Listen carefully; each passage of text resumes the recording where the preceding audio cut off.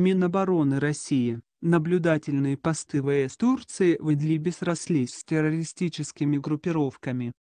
Наблюдательные посты вооруженных сил Турции в Идлибской зоне деэскалации в Сирии располагались в укрепрайонах террористических группировок и фактически срослись с ними. Об этом сообщил журналистам в среду официальный представитель Минобороны РФ Игорь Коношенков, передает ТАСС. Он напомнил, что по Сочинским соглашениям от сентября 2018 года Турция взяла на себя обязательство вытеснить террористов с их тяжелой артиллерией от границ Идлибской зоны на 15-20 километров.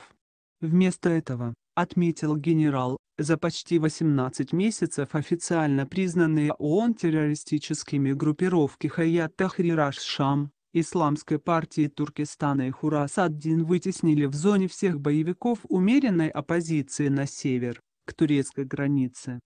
Произошло сращивание укрепленных районов террористов с развернутыми по соглашению турецкими наблюдательными постами, сообщил Коношенков.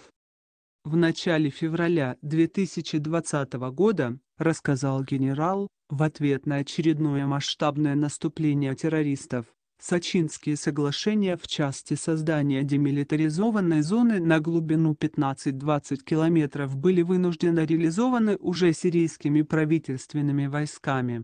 Террористы Хаят Тахрираш Шам, Исламской партии Туркестана и Хурас-ад-Дин вместе с тяжелым вооружением были отброшены вглубь зоны деэскалации Идлиб, отметил Коношенков.